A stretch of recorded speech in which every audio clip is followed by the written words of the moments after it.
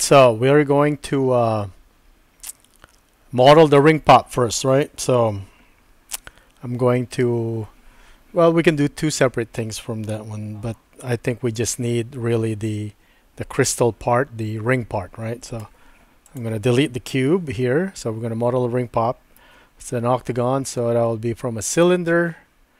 And then we will lower all these things until we get the eight sides that we need, right? So I'm going to hit tab, select the polygon here, but before that, let me turn on screencast again. It keeps turning off. Okay. So I'm going to scale this part. Okay, and just kind of base it on the photo right here and uh, extrude. And I think it's done. Let me lower that a bit. Okay, so that's kind of like the the gem part. Uh, let me take a look at the top. Pretty much it's flat, right? Okay.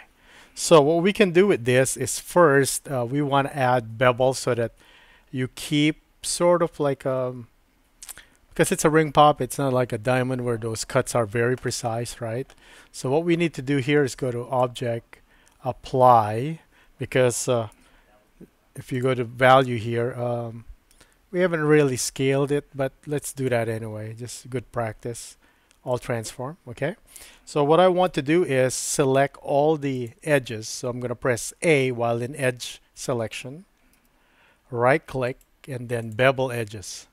So by beveling the edge, it just kind of creates this,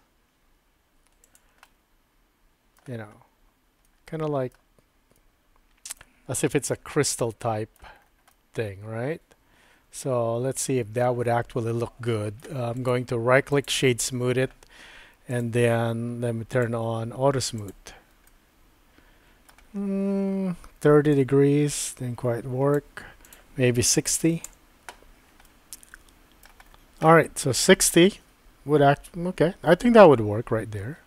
Okay, so uh, the uh, ring part, let, let's also create that, just the shield, just so that we see the reflection kind of bounce off it. I also do want to cover, if you want multiple of these, like mostly in commercials, they have so many of this ring pop, and you don't want to be creating uh, certain uh, characters or settings on your material each time you need to make a new one okay? So let's uh, just add a simple mesh cylinder right here and we do want that at 32 we want it fairly smooth okay so I'm gonna go one right here and just scale it and scale it down so that uh, that's oh, maybe around that much. Okay, so and then we'll just kind of lower that where that thing is attached. Okay, and uh, we're gonna shade smooth this. We're gonna auto smooth it also, and let's uh, select Alt click the entire uh, ring right there. Add selection. Shift Alt click to select the other one. Okay, so in order to select that, Alt hold down Alt and then click it shift alt click you get both and on this one let me see uh, let's uh, uh, uh, it has scale value that got changed so let's make sure apply scale object apply scale and I'm in object mode reset those values so that when we do our bevel we're not going to have any issue alright like so and then probably add a few segments there just to kind of keep it uh, smooth looking all right, so let's go to our shader. Okay, so um, we can just do it here in the layout. So I'm gonna go here to uh, the uh, shader kind of menu. So I will give it. Um, I will turn on uh, on my uh, Eevee setting also ambient occlusion bloom and screen space reflection just so that all the minimum uh, for our uh, rendering will be in there okay all right so let's select the plastic part first so this the this is the easy part so I'm gonna go here to my shader tab give it a new one right so we're gonna call this one plastic uh, we're gonna call it yellow okay? So we're gonna make this into plastic which is super easy base color. That yellow right there and then maybe make it a little bit more shiny by dragging the roughness okay? So we kind of see the reflection. All right so that's done. Now let's go to this one.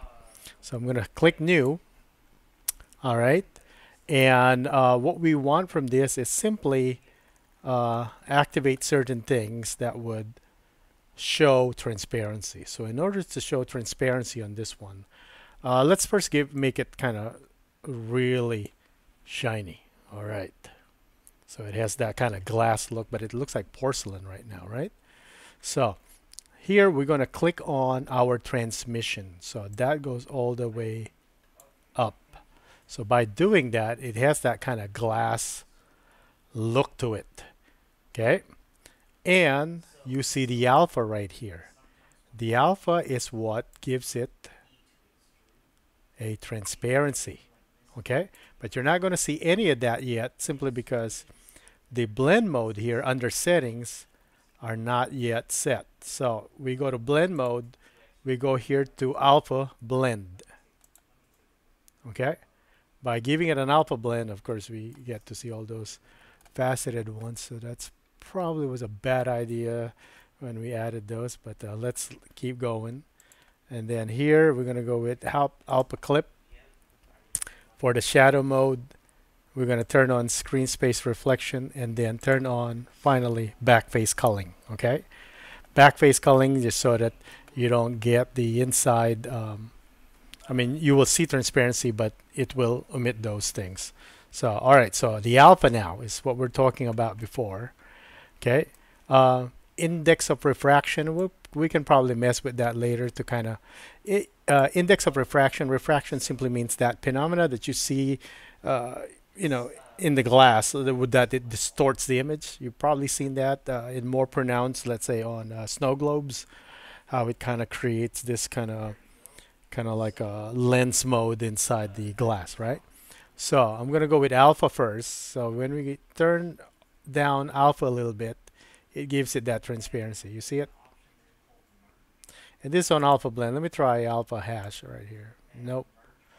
Because you see those uh, alpha blend. We're going to keep. Uh, so alpha gives it a transparency. Okay, right there okay and then what we can do is um, index of refraction we can increase that or decrease depending on the effect that you want. Say by default actually works fairly well but let's just kind of alter it a bit so that we get a little bit more streaking on some of the sides. Okay so there's that and um, I probably would want to uh, let me uh, let me just do this real quick folks. Uh, I want to lower this a little bit so I'm gonna scale it just so that it, it becomes a little bit more jewel like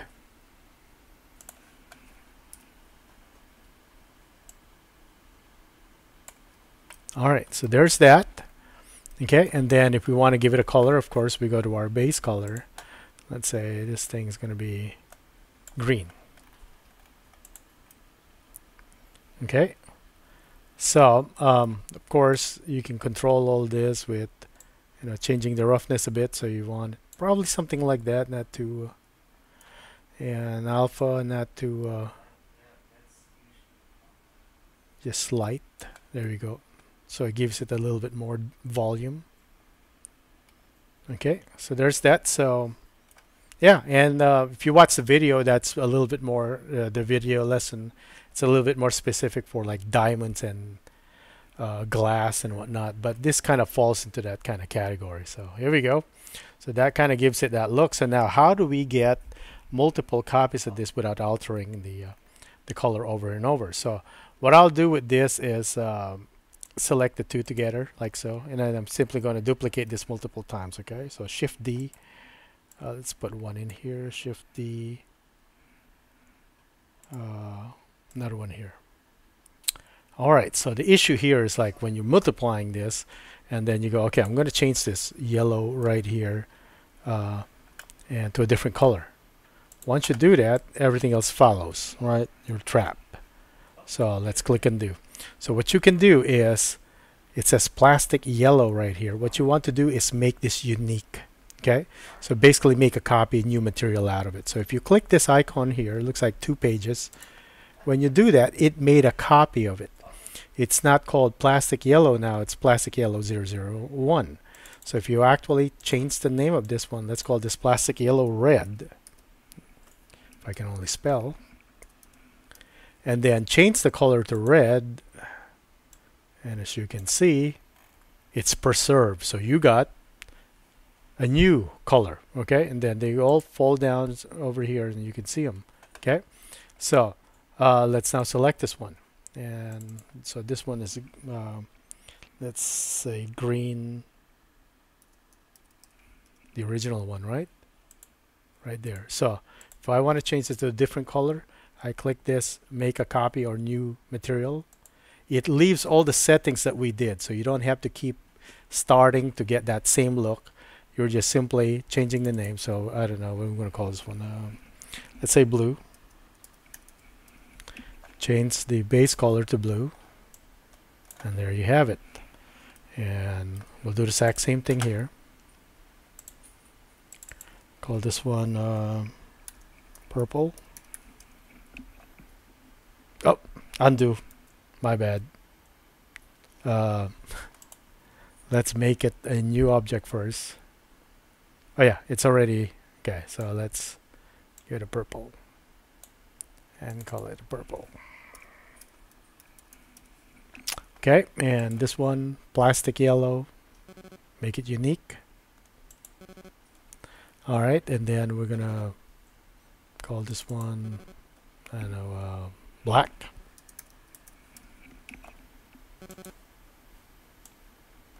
All right so there you have it. We're able to create the ring pop and kind of give it that crystal glossy look of it okay?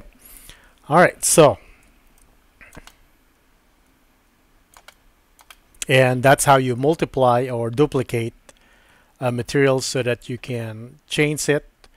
You can change the base color while keeping all the uh, all the settings that you have set already. So they all have the same roughness, same uh, IOR, same transmission, same alpha, and all your settings right here would be kept. And you're just changing color. All right. So that's the first lesson. And now we're going to do the next one.